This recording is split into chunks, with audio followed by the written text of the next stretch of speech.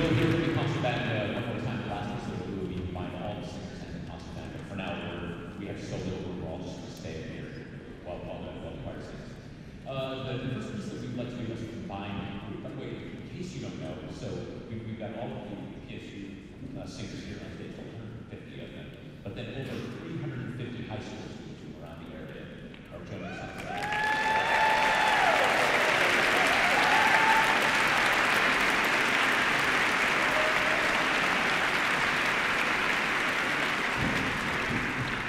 We met for the first time about 24 hours ago, so uh, uh, it is a testament to their, their incredible musicianship that we're about to perform a whole bunch of music for you right now. Uh, the first piece is a piece that I wrote back in the year 2005. I uh, got a call that you dream about, uh, called from DreamWorks Animation. They, they brought me in and wanted to know would I be interested in writing music for an animated feature they were considering making. And I said, absolutely, I've always wanted to do that. I love Disney films, Pixar films, it's a bit of a dream of. And they told me they wanted to uh, make a movie from the Rudyard Kipling story, The White Seal. And it, it's um, a story about a young seal pup who loses his mother and goes out into the Pacific and has adventures, comes back a, a man, a seal man, what is it, a growing seal, whatever. but, but one of those classic animated tales, and so um, at the very beginning of this story, Rudyard Kipling, there's this beautiful little lullaby that he wrote. Um, called the Seal Lullaby. It's the mother sings the pup to sleep before the story begins. And so I thought this would be perfect. I went home and I wrote it in my best Disney uh, Pixar style and, and recorded it with the singer, piano, and I sent it back to DreamWorks. And I waited by the phone. And a week went by, and then two weeks. And finally, I couldn't take anymore. I called them up and said, You not like it? I'm happy to write something else if it's not what you're looking for. And they said, Oh no, everyone here loved it, but we decided to make Kung Fu Panda instead. So I thought I'd have what we call a trunk song in musical theater, which is that you cut it from a shelf and put it in a trunk and hope someday there's some use for it. And a few years later, I thought, this might be a nice piece for, for choir and piano, which is what we'll perform for you now. So this is the Seal of Lullaby from the as yet unreleased movie, The White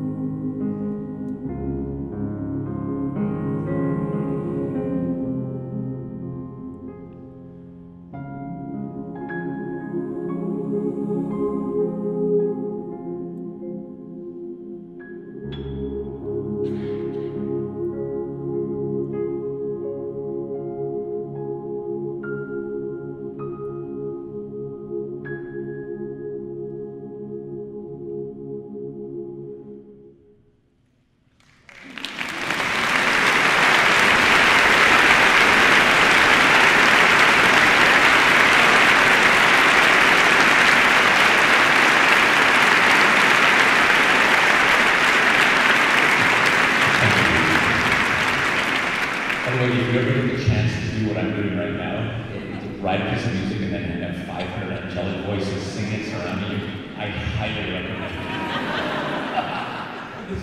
Let's just do that.